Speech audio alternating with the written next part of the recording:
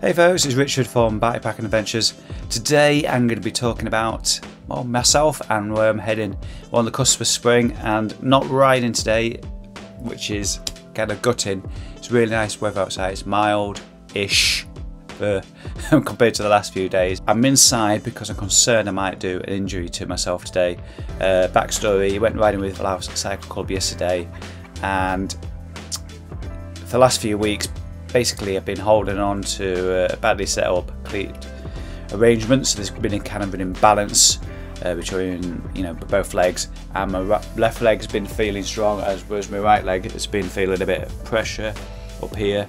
Uh, basically, I've been spending this morning sorting out the my right the cleat in my right in my right shoe, and just sorting out lots of small things that have culminated over the last few weeks and as you know, I, don't tend to sweat the big stuff, but I sometimes I let all the small things kind of do eventually become a big thing. So I've been ignoring my cleats for the last few weeks, and today I'm recovering and planning for what's going to be, a, you know, hopefully a fantastic spring and summer. I've got lots in the diary. I'm going to tell you about that in a separate video, but.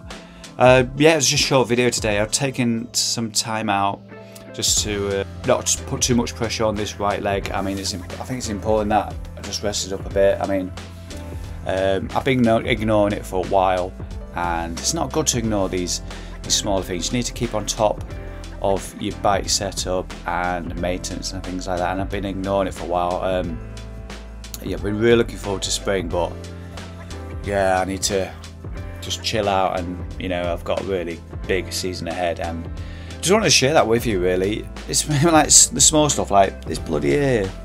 Um, what a mess that is. So I'm gonna get a cut today. I'm gonna use this time wisely, get my hair caught, um, get the shaver out, and get me myself ready for the season ahead. Uh, both, you know, I think physically I am there. Apart from you know looking after myself a bit more, mentally, um, I'm still in that space at the moment where I want to get out riding and the motivation is coming. I've just been waiting for that weather to get around the corner.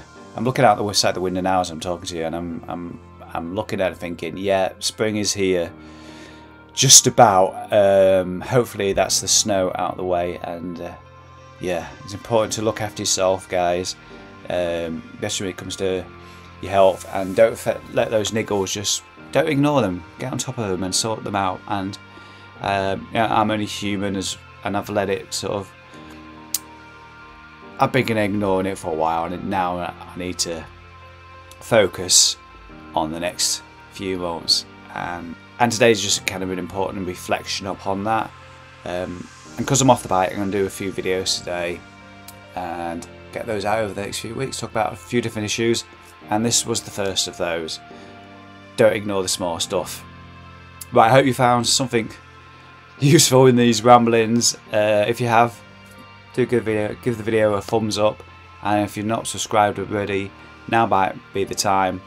I'll see you in the next video. Take care, have a great week. Bye bye.